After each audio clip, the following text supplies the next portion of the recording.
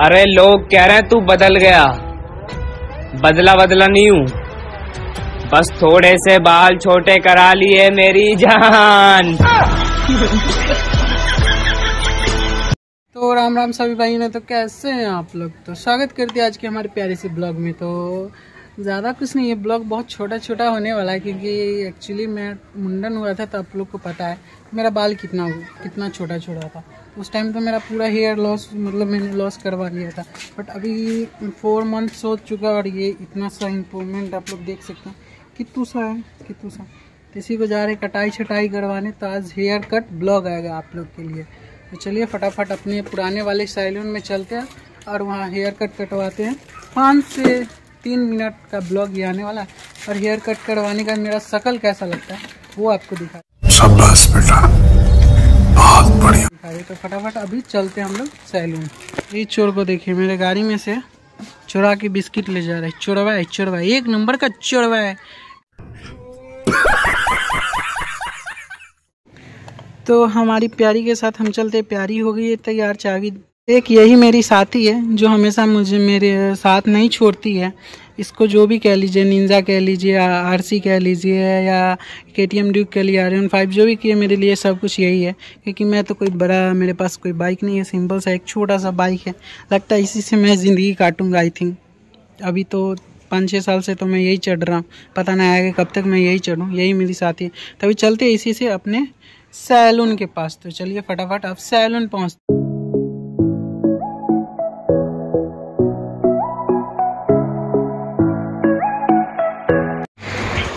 तो गाइस देख सकते हैं अभी हम आ चुके हैं अपने फेवरेट हेयर सैलून में। तो अभी भैया बैठे हुए हैं। कैसे हैं भैया?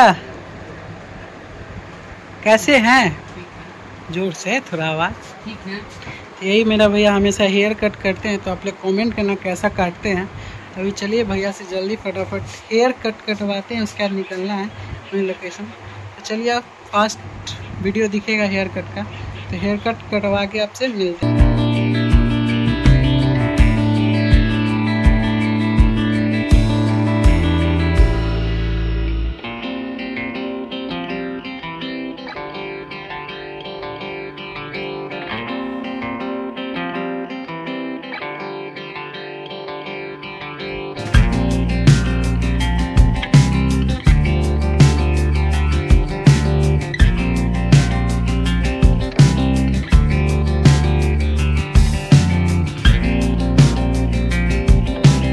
आप को जूम कर रहे हैं। और देख सकते हैं, भैया ने क्या हेयर कट दिया है मेरा।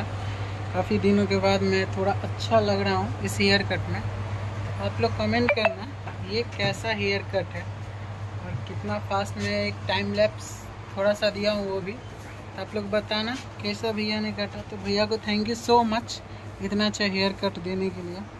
तो अब आती है पेमेंट की बारी। आज पैसा नहीं लाए हैं। आज पता नहीं। दुकान साफ़ करना पड़ेगा। बस, मज़ाक कर रहे हैं। चलिए, हेयर कट तो बहुत मस्त हो गया, सच में। तो अब रेडी होंगे और फिर निकलेंगे ले ट्रिप के लिए। ये भैया का सैलून है मिनी सेटअप है ये। पहले दिल्ली में भैया काम करते थे ना? कौन से जगह पे? कौन से? शास्त्री पार्क।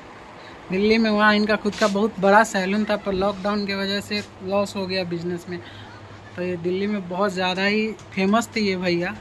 आप लोग जो भी अगर दिल्ली से वीडियो देखते होंगे तो भैया को जानते होंगे। और हमारे जो भी गाँव मोहल्ले के लोग हैं, ज़रूर भैया की दुकान में आए। बहुत अच्छा बिहेवियर है इनका। मुझे तो बहुत पसंद आता है। और सैलून के अलावा तो मैं हमेशा यही प्रेफर करता हूँ। तो जो भी अपने गाँव मोहल्ले के लोग हैं प्लीज़ भैया के सैलून में आए और अपना हेयर कट बेस्ट कटवाएँ। तो चलिए दोस्तों, घर चलते हैं। बाल कटवा लिए हैं तो सैंपल लगेगा ना? तो सैंपल के लिए पैसा भी होना चाहिए। देखते हैं पॉकेट में कितना पैसा है। दो रुपया में हो ही जाएगा। एगो हेयर शोल्डर आ ये छोटका हमार भैया है बड़ा अच्छा क्रिकेट खेलता है। ना बबुआ एक दूगो तो वर्ल्ड कप ले ही आएगा जल्दी से प्रैक्टिस करो। पूरे दो रुपया का सैंपल ले रहे हैं गाइज़ हेयर कट के लिए। सो गाइज़ अभी फाइनली मैं आ चुका हूँ हेयर कट कटवा के। मुझे एक पार्टी में निकलना था तो कमेंट करना कैसे मेरा हेयर कट कटा है। आप लोग ज़रूर कमेंट करना।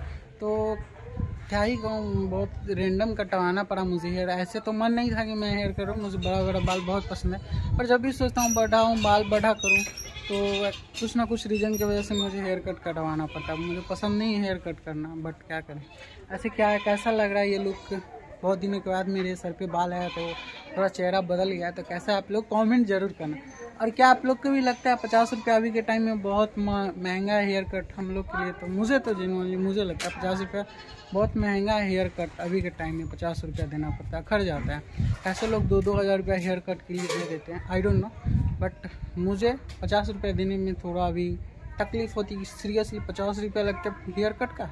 पहले के ज़माना में पंद्रह बीस रुपये में केस कटवा लेते तो वही ठीक था, पंद्रह बीस रुपये में कट जाता। अभी पचास रुपया देना पड़ता और बेरोज़गार हैं, ये दुख है। क्योंकि पचास रुपया खुद का सेविंग से निकाल के देना पड़ता है। तो काश कोई जॉब ही लग जाए। देखते हैं जॉब मिल नहीं रहा है। अगर आप लोग के नज़र में कोई जॉब है तो कमेंट करना सजेशन देना, वहीं जाके मैं ज्वाइन कर लूँ, कुछ कमाने लगूँ। बेरोज़गार हूँ तो बहुत गाली सुनने को मिले। ऐसे गाइस ये बहुत छोटा ब्लॉग हेयर कट का आने वाला है तो आप लोग को अच्छा लगा। मेरा न्यू हेयर स्टाइल तो कमेंट करना। चलिए, इस प्यारे से ब्लॉग को करते हैं, यहीं पे समाप्त। तो मिलता है अगले नेक्स्ट एपिसोड में। Bye bye